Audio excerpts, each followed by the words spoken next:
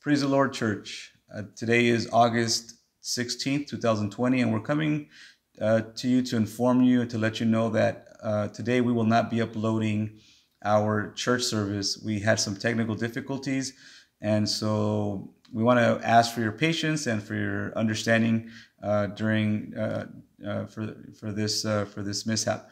So, brothers and sisters, we recommend that you either look at a previous service that we've uploaded or you can also lead your own uh, worship uh, family service there with uh, with your loved ones.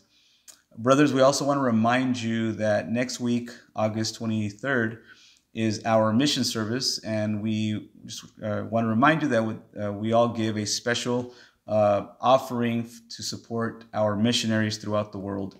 I'd like to also ask for prayers on behalf of bishop um, missionary Rusconi in, from Peru, who's actually in the hospital with uh, COVID 19. He needs our prayers and our support. And I ask that you that you, today during your prayer time that you um, that you that you intercede for for uh, Bishop Rusconi.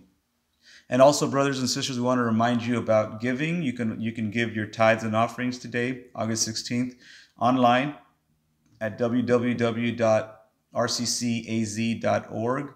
You can also send your cash, or your, I'm sorry, your check or money order to our church um, PO box, and that's uh, PO Box 2886, Chandler, Arizona 85244. Or you can also come to our church today from 3 to 4 p.m. and uh, we we uh, have people there receiving uh, your donations.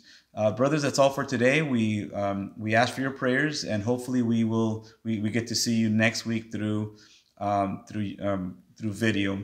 God bless you and we love you. Amen.